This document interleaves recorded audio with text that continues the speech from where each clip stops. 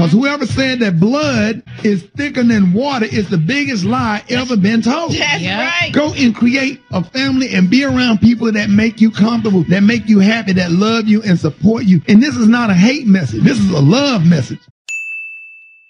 Welcome to the Edor Style channel. My name is Emma Dor. When you change your mindset about who you are, people around you will change because you no longer choose to think like them. Some people will grow with you, some you will have to let go. Friends. Are you giving attention to people who bring you down and make you feel like you have to chase them? Or perhaps people who take from you energetically and give you nothing in return? Are you afraid to speak your truth? Afraid to be you? How do you feel around your friends? Do you feel empowered or tired? Your life is like being in a play, and you're the writer, director, the main character. Why would you choose to have a villain that's against you as a friend when you can have the type of friends that uplift you, understand you, and tells you the truth?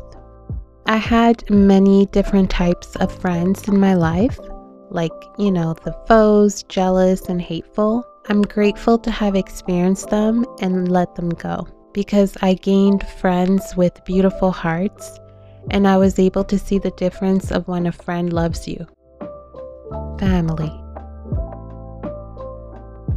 You know, family can be a tricky thing because for years they might have treated and thought of you in a certain way.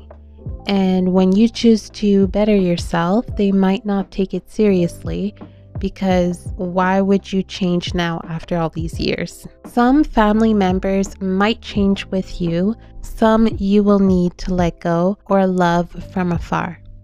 Just like friends, family can either help you grow, stop you from growing, or either make you change for the worse because of their own fears of growing for the better. Although it's a tough decision to make, you have to be true to you, what's best for your mental, spiritual, and even physical well being. Some people are surrounded by toxic family members, and for some reason, they are putting those members ahead of themselves. You'd rather betray yourself than tell them your truth. Choose you and create the environment you want to live in. And if that doesn't include certain people, that's okay.